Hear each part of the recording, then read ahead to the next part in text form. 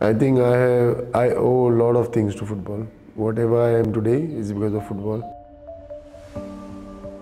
One, two, three, testing. Can you hear me? I'm Gavin Araujo. I'm the head coach of Under 18 and I assist uh, Under 20 and the dev team.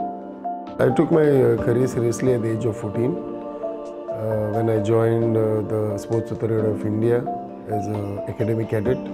Then I joined Vasco as a professional player.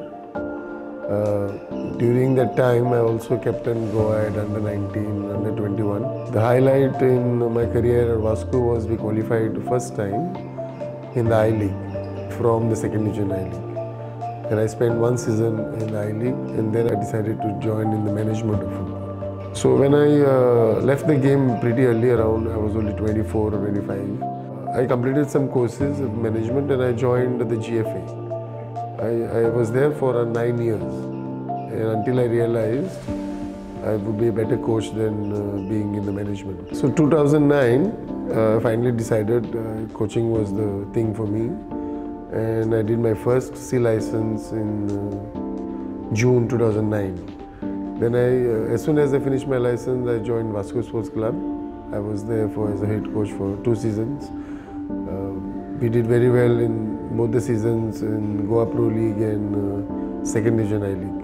We just missed out on one point in both the season in qualifying for the Division 1 I League. And then uh, from there I went on to join Dempo Sports Club as a youth coach. Uh, from there I moved on to FC Goa as a grassroots uh, head. Uh, then started, moved back into youth system of FC Goa and here I am now. It's been 10 years I've been coaching. Uh, this month I completed 10 years actually. I think I've uh, come a long way, uh, acquiring knowledge and sharing it to the younger players.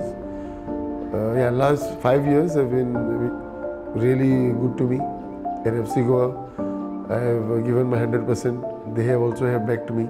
So management also plays a big, very big role when they give you a free hand, when they you give a job, whether it's grassroots or it's youth or uh, the dev, development side. They have put a lot of faith in me and uh, I intend to give uh, more number of years and 100% to my work.